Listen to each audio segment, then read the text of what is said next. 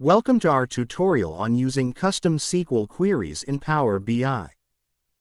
Custom SQL queries are used to optimize very large databases for Power BI, perform complex data cleansing and calculations, and combine data from various sources, directly before loading it into the Power BI data pane. The one way of using custom SQL queries is entering a custom SQL query while connecting to a SQL server. Click here on the Advanced Options to open the SQL statement field. Here you can add any SQL statement, however in this case, you have to mention the name of the database in the Database Optional field above. Let's connect to a SQL server and use a SQL statement as well. Let's go to our website and look for a SQL Server database. Here we have a database with various independent tables. Let's copy and paste the SQL Server address from here. After entering the server address, go back to the web page and copy the database name and paste it here. Select the Direct Query as Data Connectivity mode.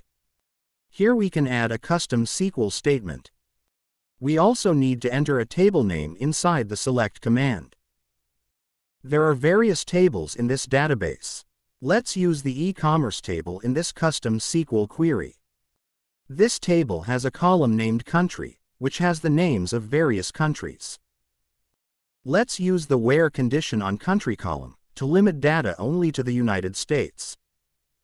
Click on the OK button. If you face this error, do not worry.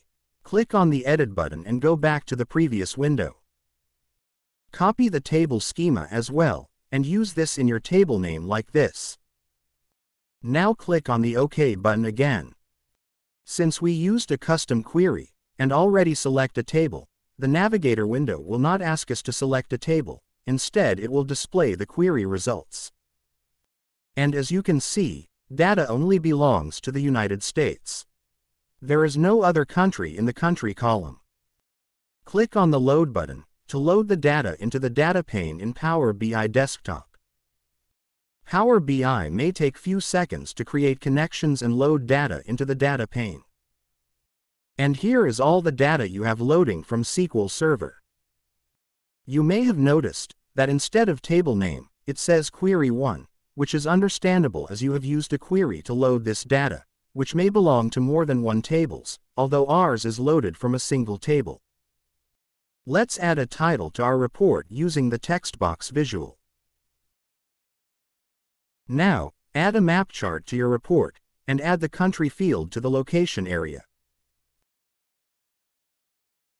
Add the sales field to the bubble size area. Place the map below the title text box covering the entire dashboard. In our custom query, we limited our data to the United States only, and that is why we are only getting data of United States. We can still change our custom SQL query. To modify your custom SQL query, or add one after connecting to SQL Server database, go to the Query Editor.